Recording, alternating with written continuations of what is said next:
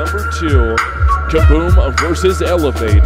One of these teams is trying to get their second, or both of these teams are trying to get their second win, considering uh, Kaboom actually went that four good over defense. Collins right there with the op, he's going to snap out of it. He's going to get the oh, lineup shot, and only one beat, and he gets the 3K out of that to confirm all the